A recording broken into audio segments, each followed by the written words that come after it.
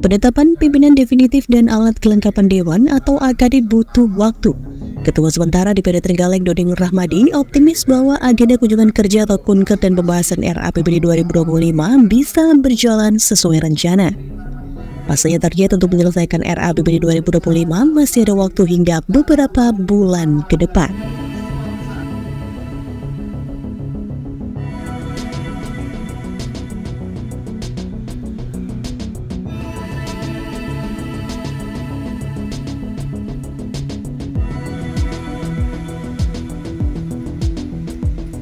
Dodeng Ramadi menegaskan meski saat ini AKD belum terbentuk, namun ia yakin tidak akan menghambat proses kerja Dewan ke depan, khususnya dalam pembahasan RAPBD Tenggalek tahun 2025.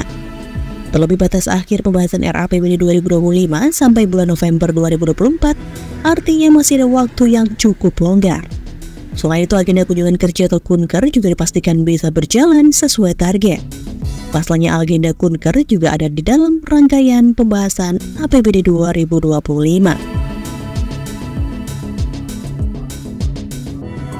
Lebih lanjut, Dodi Ramadi menjelaskan DPD Trenggalek akan tetap bekerja sesuai target dan jadwal yang telah ditentukan percepatan pembahasan beberapa agenda penting di periode sebelumnya seperti APBD Perubahan 2024 dan kebijakan umum anggaran serta prioritas plafon anggaran sementara atau PPS untuk RAPBD 2025 dilakukan sebagai langkah antisipasi pada masa transisi.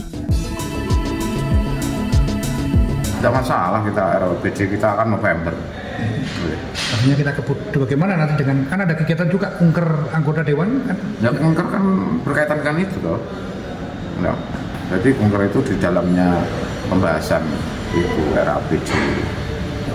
Jadi uh, kita tetap sesuai target, sesuai timing. Yang makanya yang kemarin untuk periode yang sebelumnya itu kita uh, mempercepat itu gunanya seperti ini karena kita sudah memahami bahwa setelah ini perlu proses dalam pembentukan alat kelengkapan dewan. Pak, kalau boleh dikasih gambaran Pak, mungkin uh, untuk posisi ketua komisi Pak, mungkin bisa diberi bocoran kira-kira kerangkanya seperti apa Pak? Maksudnya kerangka kerangka ketua komisi komisi-komisi. Belum, belum. Jadi kita belum ngomong personal-personal. Jadi kita masih bahas uh, proporsionalnya. Jadi di Banggar itu kom, fraksi PDI Perjuangan mendistribusikan enam orang anggota. Di Bamus PDI mendistribusikan enam orang anggota. Misalkan seperti itu. Jadi anggota orang-orangnya ya belum lah. Finalisasinya kapan Pak? ya setelah ada ketua definitif itu. Nanti final. Setelah ketua definitif dilantik baru besoknya kita melantik AKD Doding juga menambahkan saat ini tugas utama anggota DPRD periode 2024-2025 melanjutkan pembahasan APBD 2025. Namun pembahasan itu baru bisa dilakukan setelah ada ketua definitif dan terbentuknya AKD.